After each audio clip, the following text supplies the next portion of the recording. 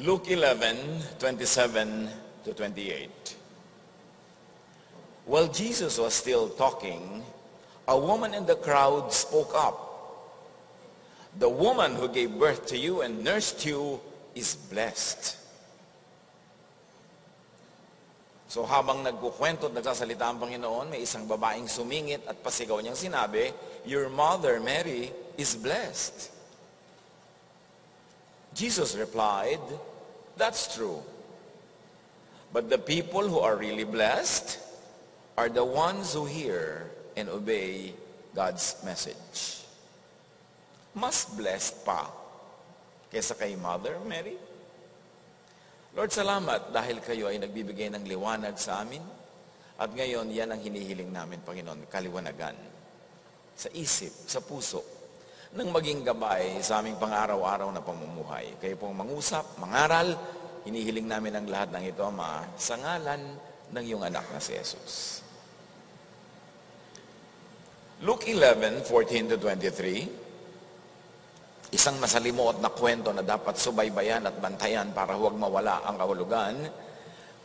Jesus forced a demon out of a man who could not talk. And after the demon had gone out, the man started speaking and the crowds were amazed. So merong physical level na nangyayari dito, yung physically pinaalis ang masamang espiritu doon sa tao, at siyempre merong spiritual level na kahulugan. Meron ding inalis doon sa tao na higit pa sa nakikita ng madla na very physical and very visual. Verse 16. Others wanted to put Jesus to the test. So they asked him to show them a sign from God.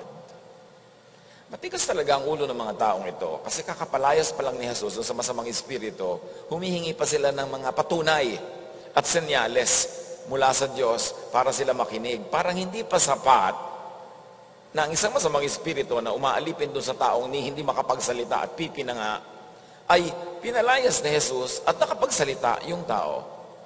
As if forcing out a demon was not sign enough.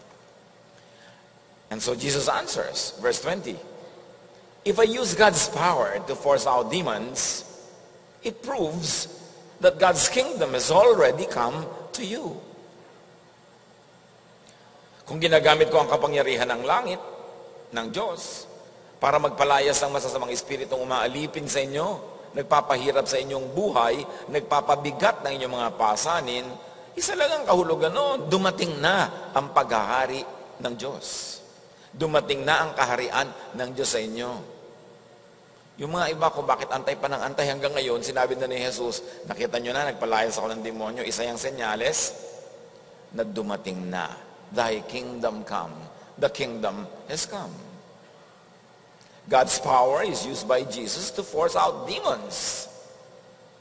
So God's power has come down to earth to release people from bondage. And that is one of the many meanings of the kingdom of God, to set people free from bondage from hardship, from difficulty, and in this case, from being mute, unable to talk. The big story is that the kingdom of God has come. So Jesus illustrates this story with yet another story. When a strong man arms himself, and read the strong man as the bad spirit that was delivered or that was shown the door, that was asked to go and forced to leave, when a strong man arms himself and guards the home, everything he owns is safe. But if a stronger man, and read the stronger man as Jesus, when the stronger man comes and defeats him, the strong man, said may strong at may stronger, he will carry off the weapons in which the strong man trusted. Then he will divide with others what he has taken. So these are devices of the story, garnishings to make it appealing to the hearers, but you are not supposed to get doctrine from every detail of an illustration. The big deal is, there's a strong man, the devil, possessing this human being, and the stronger man, Jesus, drives out this evil spirit to set the man free. And the message is very clear. When the house owner is weak, like this just strong man against the stronger man, a stronger man will displace him and snatch his possession. Jesus is that stronger man who will snatch away from the claws of evil spirits the human beings that they oppress. Evil is the strong man. And for our reading, suggested serving, because that is the context of the story, read the evil man as the law, the tradition, the old ways of life of Israel that held them captive, that made them unable to talk, that imprisoned them in so many terms. And Jesus is the stronger man, the new law of God, of love, of power that sets people free from the stranglehold of just the strong man. Jesus, the stronger man, came to dispossess the strong man, the law. The kingdom of God has come to replace the kingdom of the law. The kingdom of cruel and cold and very punishing laws of, over the people. So love has come. Love is the stronger man over the law, which was just a strong man for the longest time. Luke 11, 27 to 28. When an evil spirit leaves a person, and read that now as the law, as the tradition, as the old thinking, because that is the main thesis of the teachings of Jesus. The old and the new, all the time. The old and the new. So when an evil spirit leaves a person, and read that as the law, the tradition, the old thinking, it travels through the desert looking for a place to rest. But when it doesn't find a place, it says, I will go back to the home I left. Pagkapalayas daw sa espiritong yan, ay nagpapalaboy-laboy at mamimiss niya yung dati niyang tinirhan, sabi niya, babalikan ko na lang ang dati kong tahanan. And when it gets there and finds the place clean and fixed up, and read it as, when the old traditions, when the traditions of the law, oppressive religious systems, are driven out by a new spiritual experience. Call it the born-again experience, Call it new religiosity. So there's a cleaning up and a fixing up. There is a readiness for a new thing, for a new way of life, for a new value system. Liken that to the house that was cleaned up because the occupant, the old style, was driven out.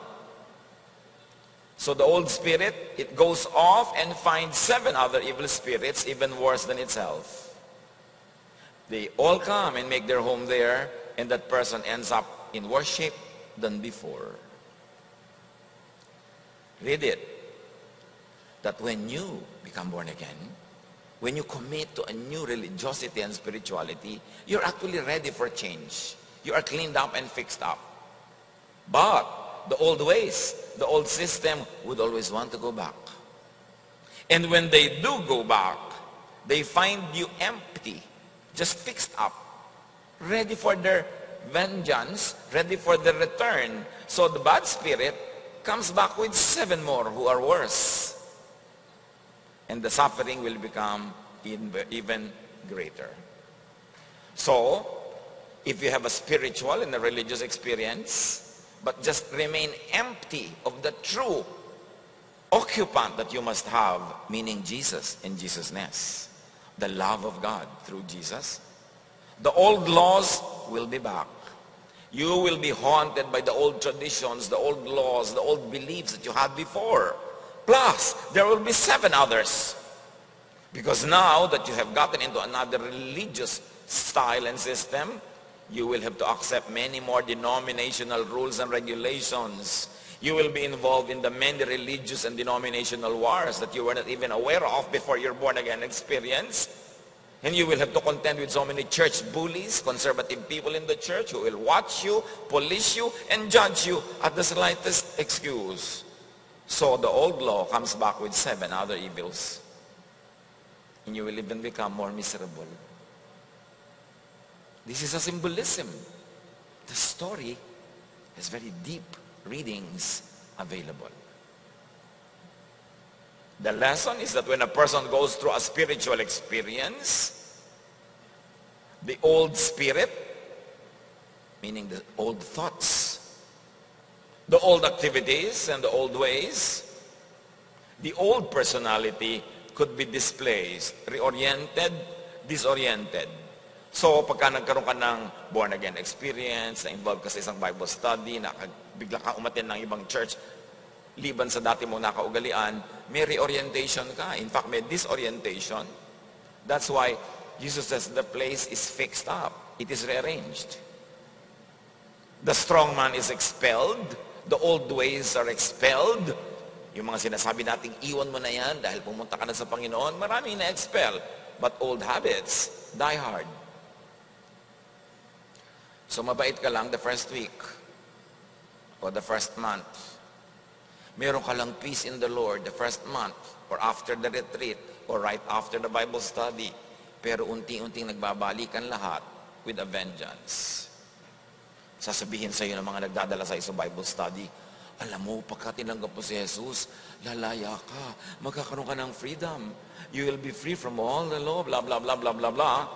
At pagka nag-pray ka, tinanggap mo si Jesus, pagdilat mo sa niya, gotcha. Ngayon, ito na mga bago nating rule, sister. Ibutonis mo yung buhok ng damit mo hanggang taas. Dapat lagi ka naka-long sleeve. Pakabain mo yung buhok mo. Ha? At yung mga damit mo, bantay-bantayan mo. Kailangan may ganito at may ganong ministry kahit naghihingalo ang nanay mo, huwag kang absent sa Sunday school, ha? Kasi unahin natin ang Diyos. Blah, blah, blah, blah, blah. Ang daming dumating. May pitong kasama pagbalik. So, teka, teka, teka, teka, akala ko ba nung naborn again ako, magkakaroon ako ng peace? Ba't di nyo ako tinatanta ng bantayan? Akala ko ba magkakaroon ng love? Bakit laging awayan? Laging selosan? Laging magsusumbatan dito? Bakit laging judgment? Bakit ang tagal-tagal ko naglingkod? Pagkatapos minsan ako nadapa, pagpepiestahan nyo ako, tapos ititiwalag nyo ako. Kasi pagbalik nga ng Espiritu, pagbalik maraming kasama. Kaya dapat bantayan. The old spirit will seek and find its way back. And that is a, what we call backslide. Ang backsliding is hindi lang pagbalik sa mga bisyo. Ang backsliding is pagbalik sa pagiging Pharisee. Sa pagiging obsessed with the law. Sa pambabato sa kapwa. Sa panguhusga. Backsliding na mas grabe yon. So, if the house had only been cleaned and fixed up, yun lang ang ginawa, but had not been filled with the, with the new occupant, meaning Jesus, meaning grace, meaning love, it would only be reoccupied by the old spirit with a vengeance because there will be seven other worse spirits. Dati, simpleng tao ka lang. Ngayon, mai involve ka sa sobrang denominationalism kasi sinalihan mong church. Kagiyara niya lahat ng mga ibang born-again churches eh. Kaawan niya lahat, ang mga conservative, ang hindi conservative, at ang mga full gospel at half gospel at one-fourth gospel. Gera-gera yan. Dati wala kang ganun, meron na ngayon. Tapos, kasama pa ang mga modern day Pharisees. Akala mo, namatay na yung mga Pharisees sa Israel, ang dami pala sa church. Pagkatapos, maaalipin ka ng kutak-kutakot ng mga religious fads. Ang dami mga pauso ng mga galing sa kung saan bansa.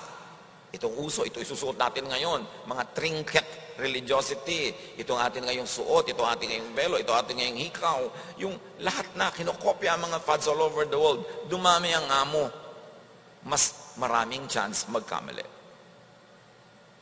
Back to the narrative. So nagkukwento si Jesus ng ganun napakahalaga, biglang may nag-interrupt na babaeng pumapapel.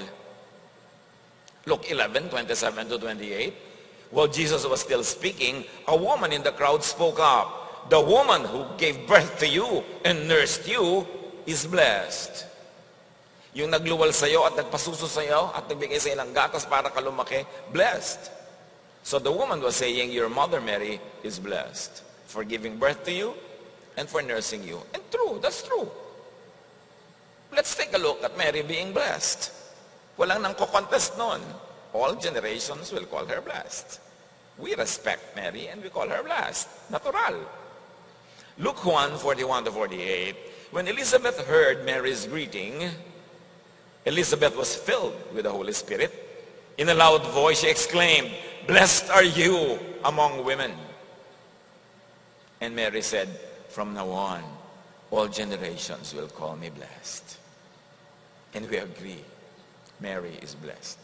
Blessed talaga. But in spite of the big blessedness, In spite of what the woman blurted out, heard by all, verse 28, Jesus replied, That's true. Yes, blessed is the woman who gave me birth and who nursed me. But the people who are really blessed, yung blessed talaga, are the ones who hear and obey God's message. Hindi minaliit ni Jesus ang blessedness ni Mother Mary. Pero ipinakita lang niyang merong greater blessedness than that.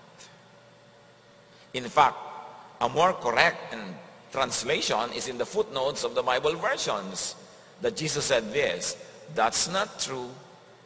The people who are blessed are the ones who hear the message. Yun ang more technical translation. That's why it's in the footnotes. Bakit dumating yung blessedness na to and that's not true, etc., etc. sa kwento? Luke 8, 19 to 21. Now Jesus' mother and brothers came to see him, but they were not able to get near him because of the crowd. Someone told him, your mother and brothers are standing outside, wanting to see you. He replied, my mother and brothers are those who hear God's word and put it into practice. It's very strange.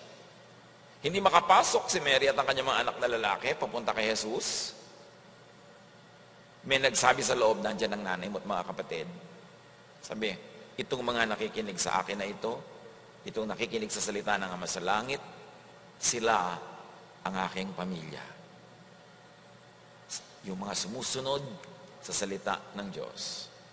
Matthew 12, 47 to 48. Someone told Jesus, Your mother and brothers are standing outside and want to talk to you. Jesus answered, Who is my mother? And who are my brothers? So Matthew is more emphatic. Whoever hears and obeys God's words are my mother and brother and sister. Sabi ni Jesus. May background kasi yan eh. Bakit gano'n ang takbo ng kwento? Kasi itong mag-iina dumating para sunduin si Jesus at pigilin sa mga pinaggagagawa niya. Mark 3.21 When Jesus' family heard what he was doing, they thought he was crazy and went to get him under control. Yun ang pakay ng pagpunta nila. Pauuwiin nila at pipilitin nilang huwag ituloy ang ginagawa niya. Dahil naiisip nilang nawawala ng bait si Jesus. Kaya sabi ni Jesus, sinong nanay ko? Sino mga kapatid ko? Ito, itong mga nakikinig. Sa salita ng Ama at sumusunod, yan ang tunay kong pamilya. At this point, Jesus' family, at least for that point, was not hearing nor obeying God. That's why there was a sharp rebuke. But of course, that changed later. Even James, the brother, who was a very fierce Judaizer, became a believer, but remained a Judaizer anyway.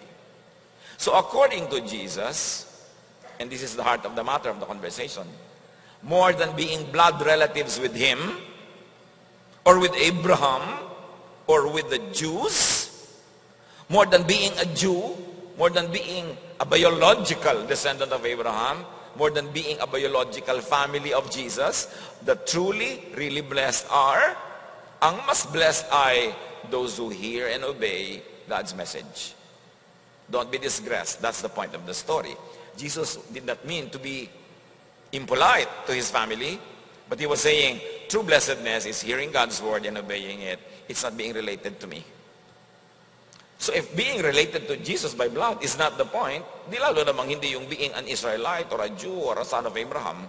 The point is, if you hear and obey God's message, you are truly blessed. Mas blessed ka talaga kesa sa mga tinatawag na blessed. Remember that the context is a spirit being driven out of a person and its eventual return with an even much more potent strength. Huwag natin kakalimutan yung true story. Lahat kasi nangyari lang related, suporta sa storya. But the true story is, pagka ang tao ay lumalapit sa Diyos, ang tao ay hinihipo ni Jesus, may umaalis, may pinapalayas. Pero yung pinalayas na yon gusto magbalik. At pag pinayagan mo magbalik, mas malala ka pa kaysa dati. This return of the evil spirit is accommodated by the former host's emptiness.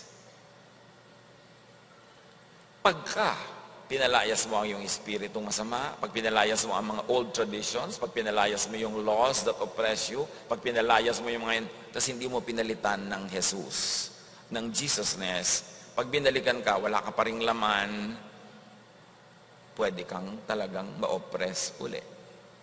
The return of the evil spirit is accommodated by the former host's lack of good occupant, lack of new good strength. The heart of the matter, when contextualized in the overall mission of Jesus. And what is the overall mission of Jesus?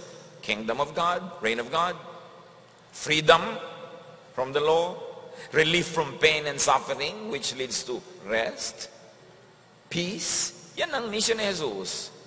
When contextualized in the overall mission of Jesus, true blessedness is being freed from the stronger, freed by the stronger man. Ang true blessedness, mapalaya ka ni Jesus. Yung maranasan mo yung God's liberating and empowering message. Jesus, God's messenger and message, maging totoo sa buhay mo, yan ang true context of the overall mission of Jesus. To set you free, to give you the kingdom, and to liberate you from the strong man. Yung strong man, yung dating espiritong nakatira doon sa tao, stronger man si Jesus, pinalayas niya, pero dapat hindi kabalikan ng strong man. That strong man, represented by what is called an evil spirit in the story, is a cruel occupant master. And in the case of the people of Israel and the people of God that Jesus was really teaching, it's an oppressive belief system that wears people out. Masalimot yung kwento, kaya suklayin natin mabuti. Yung evil spirit sa kwento represents an old oppressive belief system that was imprisoning and putting in chains the victim, the man. Jesus is the stronger man that drives the evil spirit away. Meaning Jesus, the love of God, the new age of grace and kindness and love, is the stronger man than the age of law and the age of anger and the age of punishing each other. He's the stronger man. Jesus is the stronger man. The old system of belief that made people suffer, that made them mute, that oppressed them, was the strong man, the evil spirit. Do not equate the old religion of Israel as evil. It's a representation in the story. These are symbolisms. Hindi naman nagkukwento lang si Jesus para maglibang at magbigay ng kwento. Laging may aral yon. At ang general aral ng mga lesson niya is talagang, you must be free from the old law. I'm giving you a new law which will set you free, which will give you rest. So, this old, this man was held by the strong man, the spirit of the old system. Jesus is the stronger man that sets the man free. Colossians 2.9, God lives fully in Christ. Needless to say, not in the law. In Christ. Because if God lives fully in the law, hindi na ipapadala si Christ. Pinadala si Christ because it is in Christ where God, in whom God lives fully.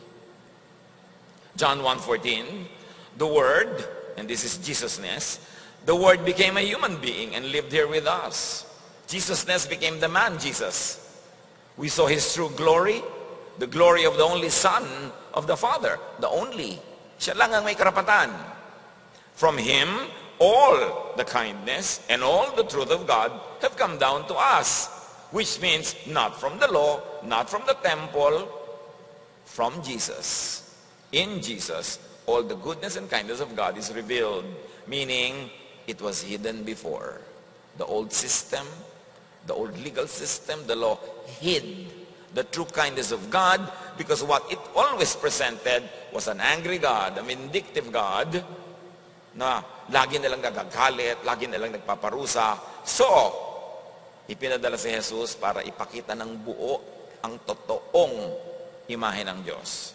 Mapagmahal, maibigin, mapagtanggap. So, this spirit had to be driven out of the man. And in the case of the context of the Jesus teachings, it is the old law, the old religious way that oppresses people that have to be driven out. Everything that could and should be known about the Father is revealed through the Son, not through the priests and the Pharisees. Matthew 11, 28, 27. My Father has given me everything. The only one who truly knows the Father is the Son. So not even the earlier or later prophets, it's only Jesus, it's only the Son who truly knows the Father.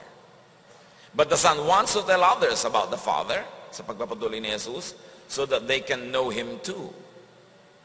Meaning, meaning they did not know the Father through the law. Now through love and through Jesus, people will know the Father. Jesus is and should be the measure of all things. Kaya dapat lahat ng ating paniniwala, lahat ng ating kostumbre, lahat ng ating mga policies, lahat ng ating mga beliefs, lahat ng ating mga patakaran, test and screen all spiritual teachings of all teachers, walang exemption, all teachers, through the Jesus filter. Lahat. Lahat ng katuruan ng mga naunang nagturo kay Jesus at sumunod kay Jesus, ihulog sa salaan ni Jesus sa kanyang filter, at yung lalampas doon is only what is loving.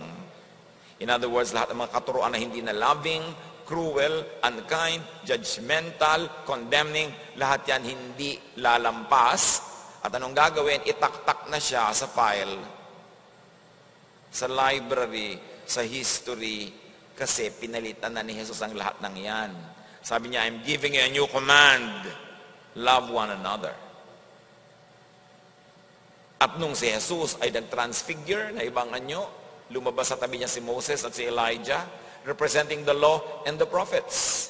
At ang tinig ng Ama sa Langit ay nagsabi, ito, si Jesus ang aking anak, sa kanya kayo makinig. Listen to Him. So para na niyan sinabi, huwag niyo kay Moses, huwag niyo sa mga prophet na yan kayo lang makinig. Kay Jesus kayo makinig. Ang papakinggan niyo lang sa sinasabi ni Moses, sa sinasabi ng mga prophet, at sinasabi ng kung sino-sino dyan, ay yung lalampas sa Jesus filter. Sang-ayon sa inireveal ko sa Kanya, dahil siya lang nakakakilala sa akin, at sang-ayon sa inire-reveal niya sa inyo. So merong Jesus filter, kailangan salain. Kasi hindi mo pwedeng paghalu-haluin in the same heart, in the same mind, lahat ng mga cruel laws of old times at lahat ng mga loving laws ni Jesus. Malilito ka at magkakagulo-gulo ang iyong policy sa buhay. Case in point, yung babaeng nahuli nila na sumiping sa isang lalaking di niya asawa, babatuhin nila hanggang mamatay. Eh kasi yun ang sabi ng law. Pero hindi yun ipinabato ni Jesus. So alam nyo na, hindi lumampas sa salaan ni Jesus yung mga bato. So ilagay sa file, ilagay sa library. Ang ibig sabihin mga kapatid, huwag na kayong nambabato ng mga taong sa tingin nyo ay makasalanan. Ipaubayan nyo sa sa Diyos. Sa pag-ibig ng Diyos sa pamamagitan ni Jesus. May salaan na. Huwag nyo nang lulunin lahat. Salain muna bago lulunin at bago i-impose sa iba, bago pahirapan ng sarili at pahirapan ang kapwa. What does that pass through the filter should be shelved and may be applied only in context. Halimbawa, yung Sabbath. Sabi niya, oh, on the seventh day you will rest. Hindi ka naman dapat alipin nung kailan ba yung number seven, Sabado. Sa palagay niyo ba, pag Sabado dito, Sabado din sa langit. Kung minsan nga, Sabado na dito, Biyernes pa lang sa Amerika. So, kailan talaga ang Sabado? Pag naging technical ka about Sabado, ang ibig sabihin lang ng context noon, every seven days of work must be broken by a seventh day of rest. So, ang context, ang spirit is, huwag ka namang nagtatrabaho araw-araw, kailangan magpahinga ka. Na ang context din doon, huwag ka magtrabaho every hour, kailangan may pahinga ka. Kailangan may pahinga ang tao. Mahalaga ba talaga kung kailan mo itatapat yung pahinga? Naging sobrang legalistic kasi ang Israel eh. Kahit nalulunod ka na, walang sasagip sa'yo, sabat. Walang magtatrabaho. Naging unloving na yung application. So apply all the old laws when the context allows you to be loving. And when the context is loving. Yung mga dietary laws, ang dami niyan ng Israel. Sabi ni Jesus, hindi mahalaga kung ano kinakain nyo. Ang mahalaga kung ano lumalabas sa inyong bibig. Kasi naging amo na rin nila yung kanilang mga diet. Ang dami pa. Sabi ni Paul, ang mga babae dapat mahaba lahat ng buhok. Kaya hanggang ngayon, like, uy, sabi ni Paul, kami mahaba buhok. Mm, compromiser ka, ha? Iksi-iksi ng buhok mo. Eh, palibasa yung mga prostitute sa Corinth, mahaba buhok. Yung mga iba, naging Christian na, este, maiksi ang buhok. Tapos naging Christian na sila, patuloy pa rin sila sa prostitution, mahaba pa rin ang buhok nila. Kaya sabi ni Paul, hoy, dapat kayo, maghaba kayo ng buhok ha. Ang ibig niya lang sabihin, tumigil kayo sa inyong trade. O kaya, huwag niyo lituhin ang mga tao kahit hindi kayo prostitute, ang iksi niyo, na pagkakamalang kayo, mabuti papahabain niyo. Kasi doon sa city na yon, yung mga prostitute, maiksi buhok. Dito ba sa atin, maiksi buhok? Tingnan niyo nga mga katabi niyo. Sa palagay niyo, yun ang trabaho niya. Dahil lang maiksi ang buhok niya. Hindi ba? Eh, lalo na kung walang buhok. Oh, ano na ngayon tawag nyo doon?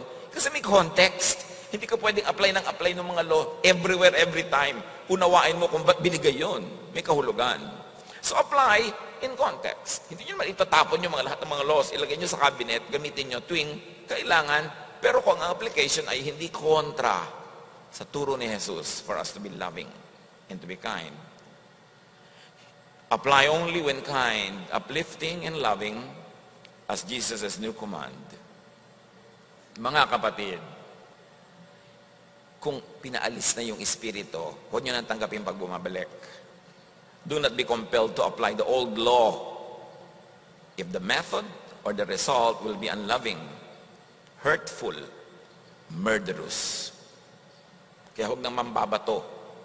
What does not pass through the Jesus filter should be treated as meaningless, like Paul says in 1 Corinthians 13.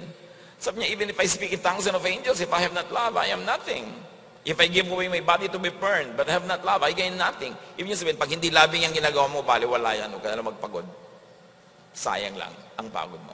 Lalo na kung hindi lang siya unloving, kundi hateful pa pala and hurting. Without the Jesus filter, the law, religiosity could so easily turn into Mosesness and Pharisiness. Pag hindi mo yan sinala kay Jesus, magiging Pharisee ka. Magiging Moses ka. Bato ka ng bato. Without the Jesus filter, the law and religiosity could be a burden instead of relief. And verses could harden people's hearts. Marami mga tao nagiging unkind sa kapwa mananampalataya dahil may hawak na verse. Aba, sabi, open rebuke is better than secret love. Sabi, o sige, open rebuke, pero meron ka ba talagang secret love? O open rebuke lang ang meron ka? Ang galing-galing mo mag-open rebuke, pero meron ka ba talagang secret love? Buksan nga natin at i-extra ang puso mo kung talaga may secret love dyan o ang hilig mo lang talaga sa open rebuke.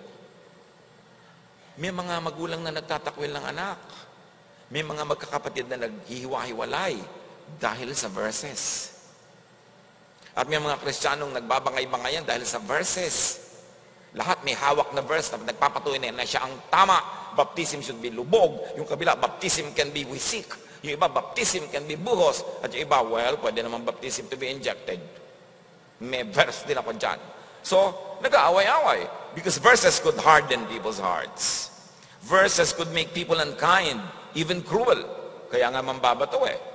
Verses could easily be used as stones to hurt and kill people. Kaya dapat padaanin sa Jesus filter. Being chosen to be Jesus' earthly mother, being Mother Mary is sublime blessing. But Luke 11:28 says that there is yet an even greater blessing, and that is hearing and obeying God's message, and very especially God's messenger, Jesus. The illustration could be applied to religious metamorphosis. The strong man represents the old faith system. If displaced, it could return with a vengeance if the house and the mind is not filled with a good occupant, is not occupied and protected by the stronger man, Jesus, and is not filled with the teachings of Jesus. If religious reorientation, meaning the born-again experience, the subscription to the Bible, new church membership is not based on Jesus, not lorded over by Jesus, it would only lead to legalistic Pharisiness and Mosesness. The born-again person could only be worse off than before. Dumami lang lalo ang dalahin, dumami ang sukat ika-guilty, dumami ang amo. At madalas mangyari ito. Pag nangyari ito sa isang sumunod sa Bible, sumunod kay Jesus, at naging born again pero hindi niya sinala kay Jesus, lalo siyang nasasakal later. At dahil lalo siyang nasasakal, lalo siyang mananakal. Gantihan lang. Matthew 23:15. Kaya galit na galit si Jesus dyan sa mga Pharisee na yan eh. Mga religious leaders na yan. You Pharisees and teachers of the law of Moses are in for trouble. You are nothing but show-offs. You travel over land and sea to win one follower. And when you have done so, you make that person twice as fit for hell as you are. Sa inyo may araw din kayo ha, mga Pharisees. Lagot kayo, mga teachers of the law of Moses. Kung ano-anong pagsisikap at pagpupunyagin nyo na makakonvert. Tapos pag may na-convert kayo, mas dinadala nyo sa malalim na impyerno. Mas dinodoble nyo pa ang kanilang mga pagdurusa. Mas magiging mas bagay sila sa napakamala impyernong pamumuhay. Sa dami ng inyong mga ipinapataw na requirement sa kanila na wala namang makakapasa, ni kayo, ang end lang lagi, guilt. Mabuti pa, hindi nyo na-convert. Mas tahimik ang buhay niya nun kaysa nung dinapuan ninyo. Nangyayari ito. Nangyayari sa mga religious converts at mga religious recruits. Minsan yung ang bait-bait mong pinsan nung mapasama sa ganong relihiyon, aba ni ayaw nang sumama sa mga family gatherings, ayaw nang makiisa sa mga pangyayari sa mga kapitbahay, lahat na masama, lahat evil. Yung church na lang niya ang tama. Nangyayari yan. At Jesus warned us already. So, you know, pag may na-convert kayo, you make them more fitted for hell than before. Dahil mas nagiging mala impyerno ang kanilang ugali at nalalagay sila sa buhay na mamisto lang impyerno kasi lagi nilang kulang, lagi nilang mali, lagi nilang pinapagalitan, lagi pinaparusahan, laging natatakot. Mas guilty. Kaya mas nagpapagilty din sa iba. Mas takot, kaya mas nananakot. Mas napagmamalupitan, kaya mas lalong nagmamalupit sa iba. Mas pagod, kaya mas pumapagod din sa kapwa. Mas nagtatago. Pagka napasali ka sa mga Pharisaic churches, talaga magiging hypocrite ka kasi itatago mo ang lahat ng katotohanan. Kasi pag nalaman nila ang totoo sa'yo, pag pipiestahan ka, ititiwalag ka, so nagtatago ka lang. Kaya ayaw na ayaw ni Jesus niyang hypocrisy. Mas nagtatago, at dahil ganon, mas namimilit na ang iba magtago rin. It becomes the name of the game. Hide your true self. Be hypocritical. Do not admit your reality because you will never be good enough. Mas nauusig at dahil yan, mas nang uusig. Madalas kanya na nagiging ugali na nagiging religyoso. Kasi sumusunod sa Mosesness, hindi sa Jesusness. Kaya sabi ni Jesus, napasama pa, lumala pa. Nagpaalis ka pa daw ng isang spirit, bumalik pito, so walo na sila. Matthew 23, 1 to 4. Jesus said to the crowds and to his disciples, The Pharisees and the teachers of the law are experts in the law of Moses. But don't do as they do.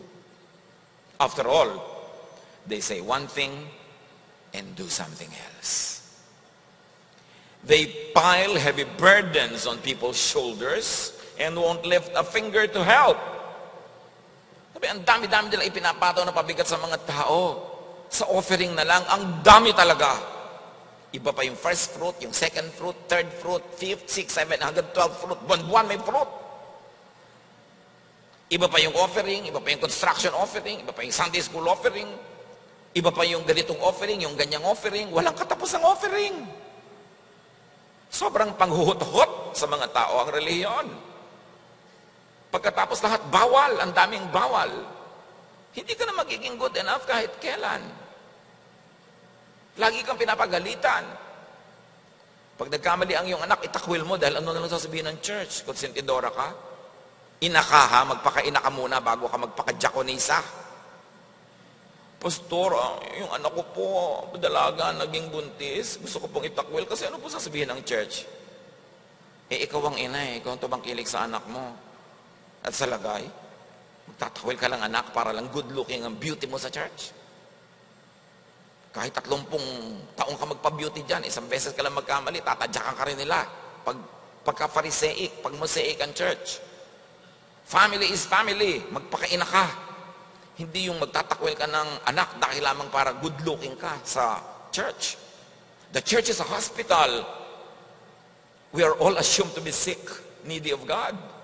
The church is not a display window for perfect people. Dapat doon po lumagay sa mga bintana na rostans. Nandun ang magagandang produkto. But sa church, hospital, pasyente ka. And we're all patients. Hindi mo dapat ikahiya na may sakit ka. Kaya ka nga nasa ospital eh. Kaya ka nga nasa Diyos dahil kulang ka. Gusto mong mapuno. Kaya ka nga nasa church para patawarin ka ng Diyos at punuin ka ng Diyos at magpatawaran ng isa't isa at magtulungan. Pero kung itatago mo ang mga kahinaan mo sa iba, isa't isa, at magpe-pretend ka lang that you're okay para ka maging acceptable, huwag ka na lang sumali sa church. Baligtad ang tingin ng mga tao sa paglapit kay Jesus. Kawawa ang alisan ng strong man, ng law, tapos hindi sumilong sa stronger man, sa love. Pagbalik ng law, mas malakas magpahirap. Mosaic and Pharisaic Christianity puts heavy burdens on people's shoulders. Noon hanggang ngayon, Ayaw yan ni Jesus. The Jewish-oriented Christians during the New Testament times also had these issues. Yung mga makahudyo, makamoses, makalo, makafarisi na naging Christian, gusto nila yung mga Gentiles na hindi naman naging Jew, pag naging Christian, ay magpaka-Jew muna, paging Jew din. Pinagtatalo-talunan nila na ipapataw nila lahat ang laws of Moses sa mga Gentile na naging Christian. Kasi para sa kanila, naging Christian ka, pero tuloy ang pagiging Jewish mo. Acts 15, 5 to 10. But some Pharisees had become followers of the Lord. Naku ha, Pharisees, tuwa ka, wow, may Pharisee naging Christian. Ah, natutuwa ka talaga? Dadalhin niya ng pagka-Phariseyon niya. Some Pharisees had become followers of the Lord. They stood up and said, Gentiles who have faith in the Lord must be circumcised and told to obey the law of Moses. Yung mga Jewish men are circumcised. Gentiles are not. Ngayon, na-convert ka 50 anyos ka na, tutuliin ka pa nila. Mabigat-bigat na surgery yan. Sabi niya, Gentiles should be circumcised and told to obey the law of Moses. And the law of Moses, Ten Commandments plus 613 other commandments called misbots. So sabi niya, yung daladala nating hindi natin napasan, ipapataw din natin sa mga Gentile. Pasensya sila, naging Christian sila, dapat maging Jewish din sila. The apostles and church leaders met to discuss this problem about Gentiles. They had talked it over for a long time, and I must, I'm sure it was an acrimonious debate. When Peter got up and said, Now why are you trying to make God angry by placing a heavy burden on these followers. This burden was too heavy for us or our ancestors. Ba't yung ginagalit ng Diyos? Ba't yung papatawan ng napakabigat na dalahin ang mga taong ito na hindi naman sila Hudyo? Tayo ng mga Hudyo, tayo at ating mga ninuno. Di naman natin talaga natupad dyan. Aminin natin. Tapos ipipilit natin sa kanila rin. Everybody forgets that the Mosaic law was for the Israelites who were taken out of Egypt. Sabi ni Lord, I am the God who brought you out of the land of Egypt. And because of that, ginawa ko yan para sa inyo. May gagawin din kayo para sa akin. May covenant tayo. May usapan tayo. The Gentiles were not part of that deal. Bakit? Israelite ba sila na pinalabas sa Egypt? Ba sila sinasangkot sa napakarami mga laws na ito na usapan lang para sa mga Israelita na sinagip from slavery.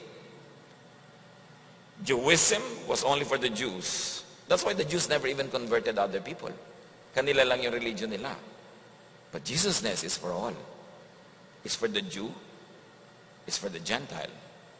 Sabi ni Jesus, you will be my witnesses in Jerusalem, in Judea, in Samaria, and to the ends of the earth. Si Jesus ang nag-extend ng Christianity to everybody, but He did not extend Jewishm for everybody. He extended Jesusness. So hindi ka naman naging Jew, ngayon magpapaka-Jew ka pa.